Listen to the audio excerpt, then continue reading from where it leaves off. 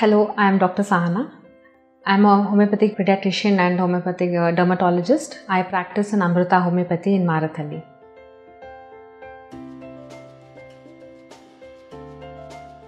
Uh, most of the kids suffer from complaints of stomachache and uh, usually we think it is uh, indigestion to the food which is consumed nearby and often it is quite true children throw out symptoms of indigestion more frequent or more sooner in terms of uh, either vomiting or uh, having a severe cramp they throw their tantrums and they will not be usually consuming food they refuse to follow along your instructions in that way so most often you will see that their their tummies are a little bloated up it is tightened or they may have an attack of uh, diarrhea or uh, they may have a feverish feeling in that way. So, mostly the causes of uh, the stomach pain or the indigestion is going to be either overeating or uh, eating junk food or uh, eating too little or uh, too much. And we need to find out if any new kind of food has been introduced into the system because of which they will be having complaints. Homeopathic medicines are going to be quite gentle and safe for the kids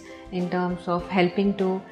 improvise the appetite primarily which is very important for building the immunity and uh, for improving and getting out of the infections it is going to be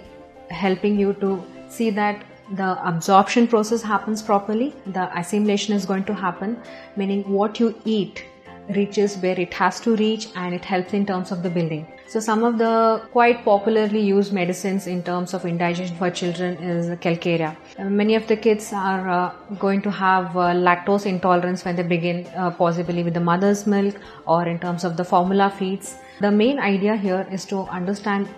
every individual child as a different and the medicine has to be given in terms as a whole the constitution medicine has to be found out of the child